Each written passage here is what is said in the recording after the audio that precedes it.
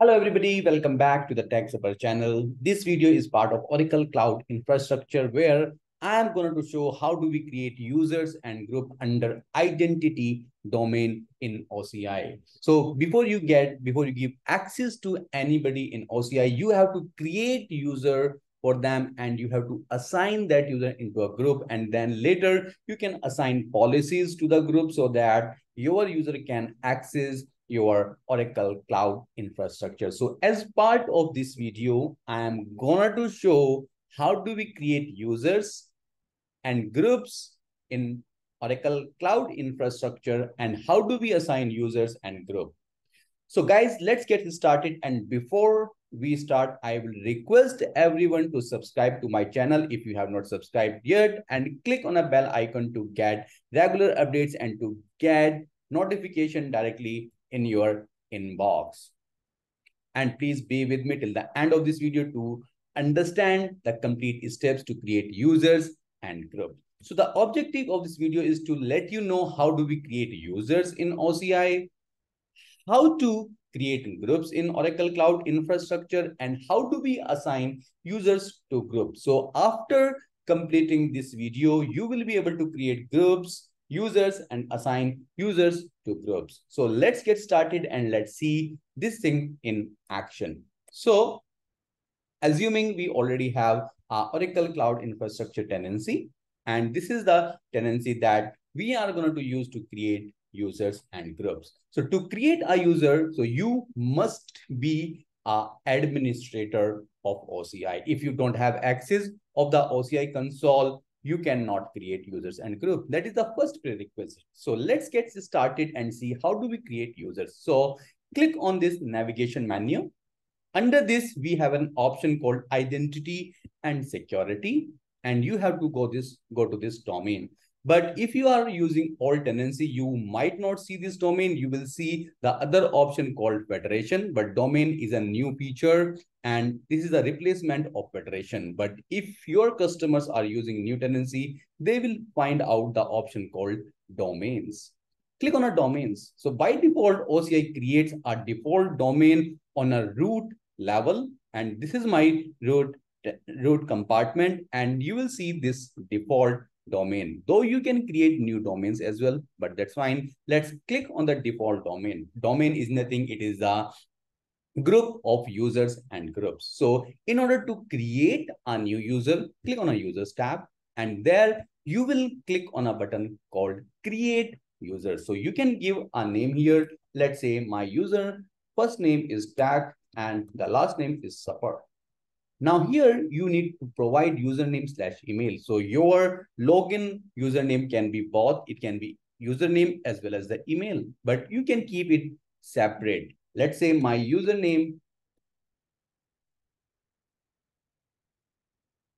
30 at gmail.com, but I don't want to use this as my login user. So what I'm going to do, I'm going to copy the same and put it over the email for the recovery purpose and simple say, this is my username.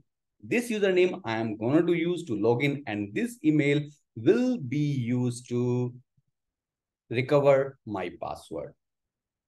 And while you create the user, you can assign cloud account administrator role as well, meaning this guy will become administrator if you click on this.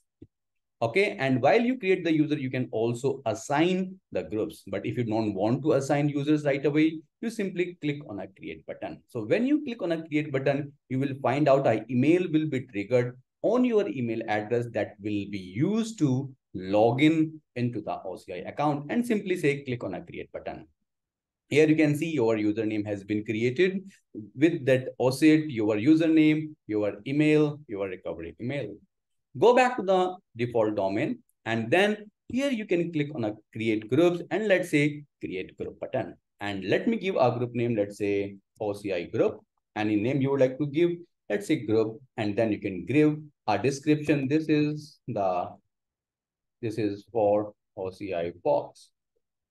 And while you create the group, you can also say, hey, user can request access Let's suppose I don't want this checkbox to be enabled. Let's uncheck it. And while you create group, you can also assign users to them. Let's say I would like to assign this user for now and let's say create. Now here, what I have done, I have created a group and I have also assigned one user. So now later you would like to assign more users to the group, click on a group and let's say assign users to group and let me assign that as well. Add. So I have assigned two users to this group. So this is how you create groups and users, but it's not completed. How user would know my user is created? For that, they will have to log in into their email ID. Let me log in to the email ID. You see, I have received email on this. This is the format, right? And you can see you can click on activate your account. When you will activate your account, it will ask for the password. You have to enter the password here to activate your user and then confirm. And then reset password, okay?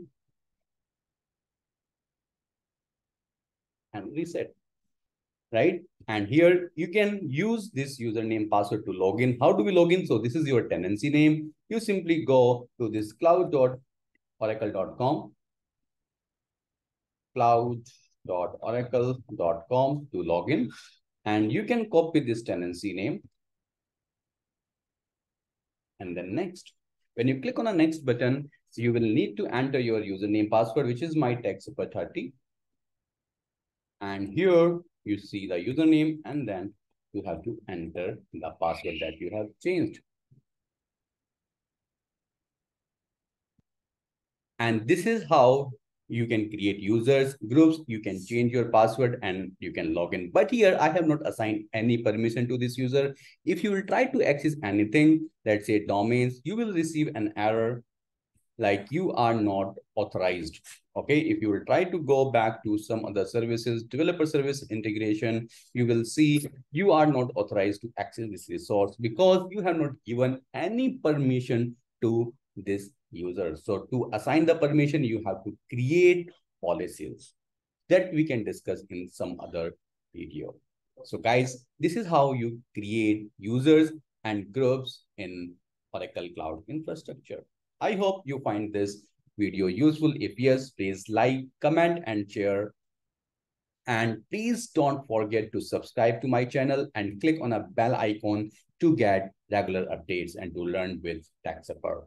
Thank you. Bye-bye.